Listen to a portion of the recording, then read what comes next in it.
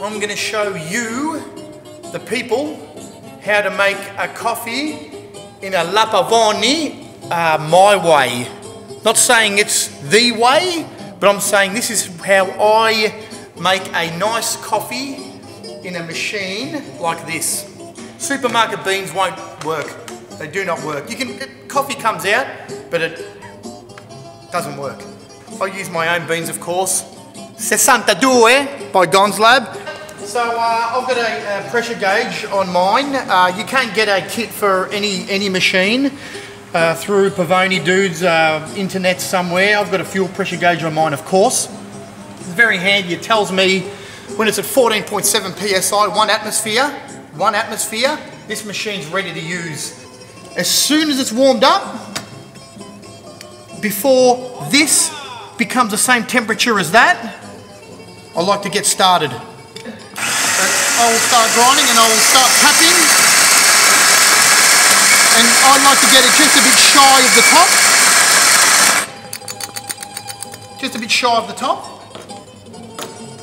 And then just a nice tan. Uh, I'd put, you know, four, four and a half foot pounds on it you know, measuring from there to there over a circle radius of 2016.498. All these decorative uh, uh, bits and pieces.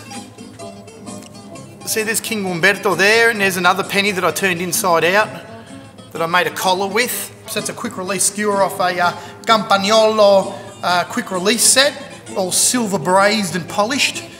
All right, so as soon as I get up to my 15 PSI, before all the heat transfers from there to there, I'm ready to go.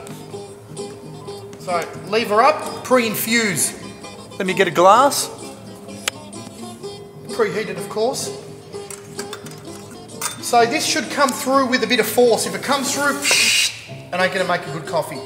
If you're gonna swing off it, you're gonna over extract it. So it needs a bit of force to come through to make a decent coffee.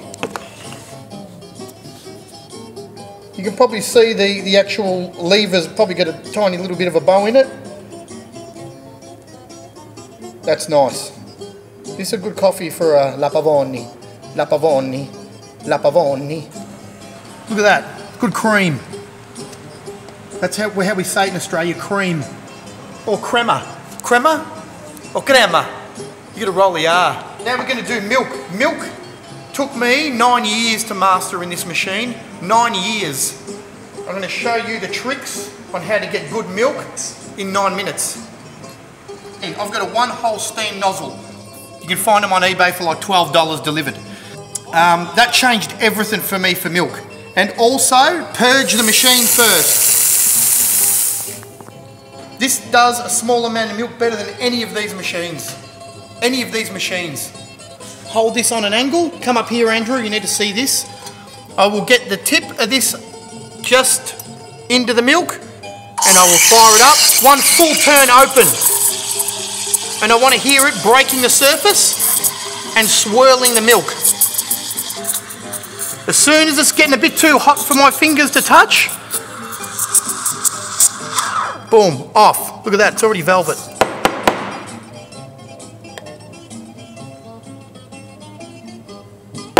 Bam!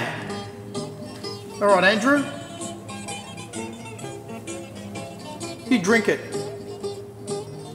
That's a piccolo. That's what we call a piccolo. Great little machine, isn't it? It's sweet it's, it's without no nonsense. sugar. Yeah, that's because of the Santa Due. Is this is this autofocus? No. So I've been out of focus on your head the whole time. Yeah, but that's okay. It's not. Critical. Hang on, let me let me get that right. Is it there? Well, look look at the screen. Yep. Dude, I need my glasses, man. I need glasses on.